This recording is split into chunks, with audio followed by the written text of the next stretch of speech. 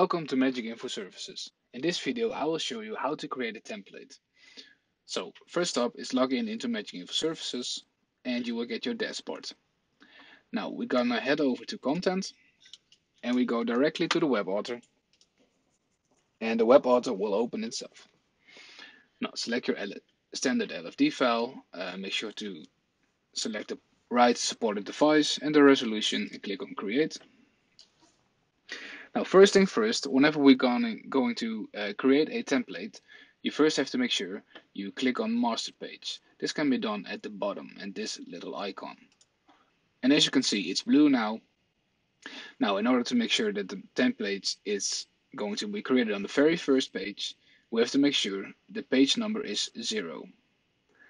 So this is the very first page that there is. So it's not going to be page one, but page zero. That's the main page we have to use. For example, if I want to add this picture, make it a bit smaller. And you can add as much stuff as you want, uh, maybe some shapes.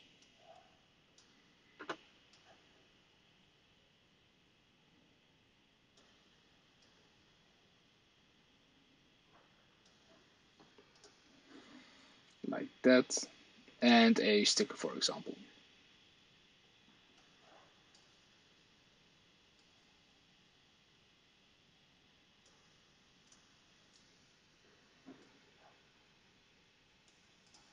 Like that.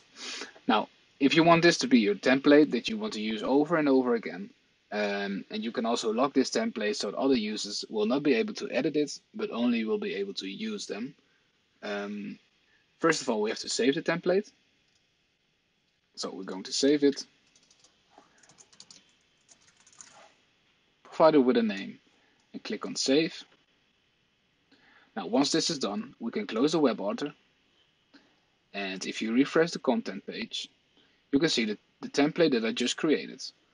However, we still have to save it as a template. So make sure to select it and to click on this one this button, Save as a Template, provide it with a name again, and the group. Press on OK. Now if I open the web author again, click on Create, and here you can see the template that I just created is now fixed in here.